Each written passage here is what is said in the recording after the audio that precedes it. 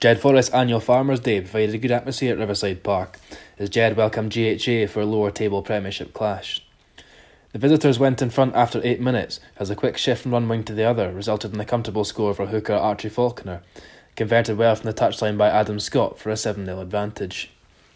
Jed responded well to going behind though, and a stunning break from halfway by Lewis Young set up youngster Lewis Elder for a try in his first ever start for the first team, and the visitors led 7 5 after 13 minutes. Just three minutes later, fullback Scott nudged GHA further ahead with a penalty from midway inside the Jed half. The home side took the lead for the first time midway through the first period when, after a pinpoint delivery from the line out by Finlay Scott, Clark Skeldon drove over for a score, converted by Nicol for a 12 10 advantage. As the first half neared its close, GHA put the pressure on inside Jed's 22, but after a number of phases, a stubborn home defence was rewarded with a penalty.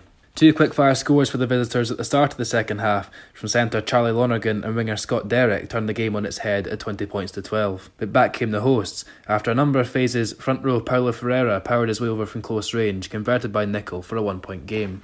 And in the dying minutes, after an infringement at the breakdown, a penalty was awarded to the home side, which is duly dispatched between the uprights by fly half Nicol for a full-time score of Jed Forest 22, GHA 20. Well, I think it was good good for us to get the monkey off the back. You know, I'm not playing in so long and we've not the best of seasons, so we, we kind of targeted to kind of win the last kind of few games, so that's uh, us off to a good start. So Tough start to the second half. How did you bounce back from it? we were saying in the changing rooms that we, we can't come out cold because we've done, we've done it all season and then we go and do that and, and leak two tries, but we managed to pull it back. So we, we kind of we'll, we'll probably look at that at training and, and work on next time. How do you affect in the season as a whole, would you say? It's been enjoyable, although the stop start's got into us a bit. But hopefully now that's it, being able to move on and, and we can start focusing on, on building for it for next year.